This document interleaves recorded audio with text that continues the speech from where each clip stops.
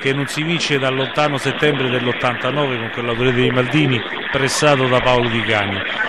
Eh, però che partita ti aspetti? Cioè, secondo te la Lazio può andare lì a fare la partita, visto anche eh, l'11 che probabilmente il Milan metterà in campo, che insomma è un 11 insomma, che, eh, preso così, eh, l'unico innesto nuovo è Diego Lopez, l'attaccante. E Armero. Beh, beh, no, c'è anche Menezza che farà ah, centravanti centravanti vinto e Alex in difesa. Ma guarda, io credo che sia una partita tra due squadre che giocheranno a screcchio. Eh, con 4-3-3, l'ho detto pure l'altra volta nel corso dell'ultimo collegamento. Se la Lazio gioca la partita la vince, perché non è un Milan irreversibile, è un Milan che eh, è ancora in fase di ricostruzione anche fisica e morale di alcuni giocatori, eh, psicologica, penso a Scalawi, penso a Passini, penso, penso a Montolivo, eh, stasera hanno preso Torres, che però credo che domenica non giocherà. Eh, io credo che la Lazio la partita se la fa la può portare a casa, la può portare a casa per Mm, mm, mm. Quindi se tu pensi se la fa la può portare a casa. Um, sì. Oggi c'è stata una dichiarazione da parte di um, un ex calciatore eh, Giovanni Galli su Pioli eh, che lo stima molto, eh, però dice è un allenatore eh, che deve passare dalla fase di eh, giocare eh, più le partite guardando l'avversario a imporre il suo gioco. Secondo te la definizione che ha fatto Giovanni Galli oggi di Pioli è giusta e poi ehm, può Pioli secondo te con questa rosa dare una svolta anche alla sua carriera che è stata una carriera dignitosa però sempre di squadre di provincia? Allora, Pioli ha sempre guidato squadre di, di media e bassa classifica, ricordiamoci insomma soprattutto il Bologna e il Parma e il Chievo eh, l'unico anno nel quale ha fatto qualcosa di, diciamo così, di superiore alla media è stata la stagione 2011-2012 quando ha potuto sfruttare eh, l'annata straordinaria di Diamanti. Eh, diciamo che Diamanti è un giocatore che eh, lui ha ricostruito dopo l'esperienza fallimentare in Inghilterra e con Bologna sono le qualificazioni in Europa League. Eh, per, per, ricordarvi bene, quell'anno Bologna vinse in casa della Lazio 3-1. Sì. Eh, in quella partita dove Madusalem eh, ne fece degli ultimi colori e la Lazio rimase in 9 quel giorno. Eh, ecco, io credo che eh, lui si giochi gran parte della carriera perché è l'occasione per fare il salto di qualità.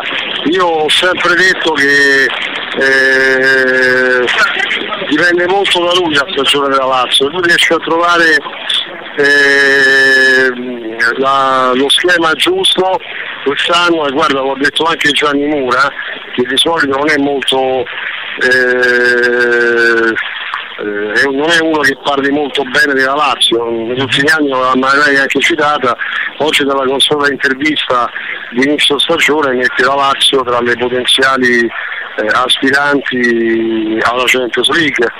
Eh, quindi dipende molto da lui, dipende molto da lui, si gioca sicuramente gran parte della carriera. A Giovanni Galli vorrei dire questo, che un conto allenare Milan, Inter, Roma, Juventus, se vogliamo Napoli, se vogliamo anche la Lazio e la Fiorentina, che sono squadre che eh, storicamente impongono il loro gioco, un conto è invece allenare con squadre eh, di media bassa classifica che sono oggettivamente più deboli, quindi è anche normale che Pioli fino a questo momento abbia avuto un gioco diciamo così meno maschio rispetto a, a quelle altre squadre.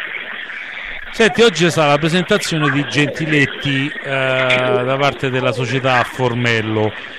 Io l'ho seguita, eh, l'ho seguita poi su internet eh, e ti devo dire che il personaggio è un personaggio abbastanza diretto, uno che ha risposto a tutte le domande anche in un modo eh, diciamo anche con molta personalità. Eh, secondo te eh, è giusto la teoria che il ragazzo non è pronto per, eh, per Milano e che quindi dobbiamo rigiocare di nuovo Coxana? E beh, se l'avessimo acquistato due settimane prima sarebbe stato pronto per Milano, purtroppo è chiaro che ci sono anche delle gerarchie che si devono a creare nello spogliatoio, ci sono anche dei meccanismi che in qualche maniera bisogna imparare, eh, per esempio De Vrij è di fatto sono tre settimane che sto bene in coppia con Sana o Seni o Novoretti. Eh, se questi acquisti fossero arrivati prima, come eh, dicevamo da, da probabilmente adesso Centinetti sarebbe stato il titolare. Siamo sempre al solo discorso Massimo, purtroppo di risparmiare 500 mila euro in un mondo dove girano milioni di euro, perché non è che stiamo parlando di, di 100 euro di, eh, di una persona normale che magari guadagna 1.400, 1.500 che giustamente deve risparmiare, qui parliamo di milioni di euro e noi purtroppo abbiamo la solita storia del, del Presidente che deve tirare fino all'ultimo, eh, questa è la questione, no? E quindi alla fine ti trovi poi a Milano che ti ripresenti con la coppia centrale De Sana con un giocatore che si è fatto prendere la munizione contro il Bassano dopo 4 minuti. Cioè Sana domenica, domenica sera contro il Bassano, cioè contro la squadra di, di Lega Pro, e dopo 4 minuti si è fatto, si è fatto ammonire, l'unica ammonito della partita. Eh, quindi questo ti dimostra pure perché poi rischi a Milano una partita dove tu puoi potenzialmente vincere, rischi di non vincerla perché hai comunque un giocatore che per carità è un giocatore che dà sempre tutto il campo, ma è un giocatore imprevedibile, perché è uno che comunque non gioca nel suo ruolo. Sono, sono d'accordo con te. Sul campionato che comincia domani, dove posizioni la Lazio in un'eventuale griglia di partenza? Guarda, io ti dico la verità, eh, l'ho detto fin dall'inizio, la Lazio c'è, se la gioca dal terzo al settimo posto. Ci sono due squadre che sono superiori alle altre, che sono appunto, eh, lo sappiamo, Juve e Roma. Io ho seguito molto il Napoli in questo mese, il Napoli lo vedo veramente eh, molto meno forte rispetto allo scorso anno, la Fiorentina ha eh, due punti interrogativi che sono le condizioni fisiche di Gomez e Rossi, per quanto riguarda l'Inter e Milan sono due squadre sicuramente in crescita, eh, soprattutto l'Inter, però io credo che la Lazio sia quella che se messa bene in campo l'allenatore può veramente essere la sorpresa del campionato, però sempre un gradino sotto Juventus e Roma. Può avvantaggiare il fatto di, fare, di, fare, di preparare solamente la partita della domenica, un po' come ha fatto la Roma l'anno scorso? Eh, insomma, la Roma l'anno scorso allora la Roma aveva un potenziale diverso eh, e poi comunque ha un allenatore che gli ha dato qualcosa di più. Eh, a Pozzo è molto importante capire Pioli quanto possa realmente dare a livello mentale, a livello organizzativo di gioco alla Lazio. Sicuramente la Lazio si avvantaggerà di questo fatto. Eh, però eh, insomma se ripassa terzo penso che tutti quanti ci metteremo la firma. Senti, eh, tu come me o come tanti altri hai visto giocare in televisione nell'Under 21 eh, Cataldi. Al di là che magari sì. te lo sei seguito pure a Crotone, lo conosci più di altri, però la maggioranza diciamo, di, di, di, di, chi ci ascolta, insomma, anche dei, dei, tifosi della Lazio, la maggioranza l'ha visto in televisione con l'Under 21. Un giocatore che eh, insomma, a, a, dimostra, si vede, si vede subito che, che, è un giocatore pro, che è un giocatore fatto, un giocatore pronto, un giocatore che ha delle qualità eh, superiori ai suoi, eh, a, diciamo a quelli della sua età eh, sia dell'Italia che eh, di quelli che ha incontrato. Allora, se eh, dobbiamo vedere in Europa eh, squadre blasonatissime come il Liverpool eh, o come anche ecco, domenica scorsa al Barça che ha messo quel ragazzino di 18 anni eh, Munir perché la Lazio non, non mette questo giocatore e diciamo eh, vicino a Biglia e Parolo e gli dice tu sei il futuro di questo centrocampo e comunque dobbiamo... Ma io penso che... Eh, vai, vai. No, io, io, penso che, no, io penso che lo stiano facendo, c'è soltanto un tema secondo me che in questo momento la Lazio non può tra virgolette rischiare di bruciare un calciatore di questo tipo perché non ci sono le condizioni ambientali per farlo.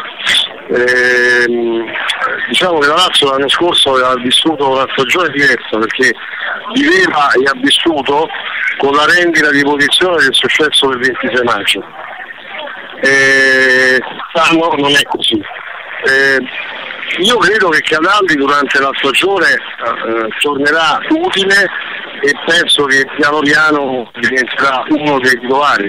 Però in questo momento eh, io sul 4-3-3 lo vedo, lo vedo bene come alternativa o a Candreva eh, eh, o a Keita, quindi la vedo un po' complicata da questo punto di vista. Però guarda, è un giocatore sul quale puntare tantissimo.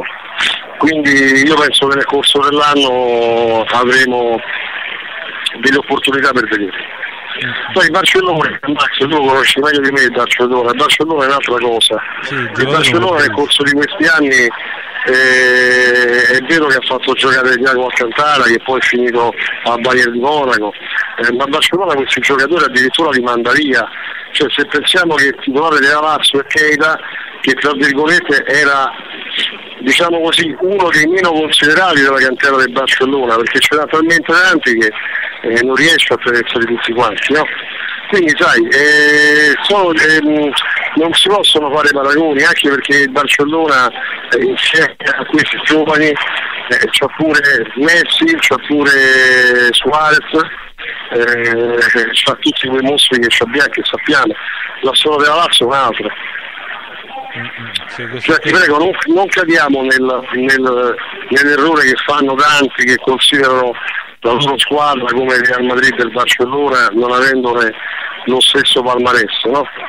Lo sai, insomma, certo. c'è qualcuno che pensa che la sua squadra è come è su quel livello.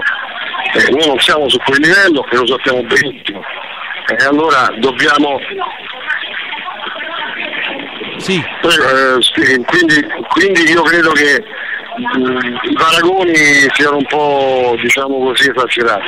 Soltanto una volta la Lazio nella storia è stata su quei livelli negli anni 90 con Cragnofi, purtroppo con questo presidente a quei livelli non ci arriveremo mai.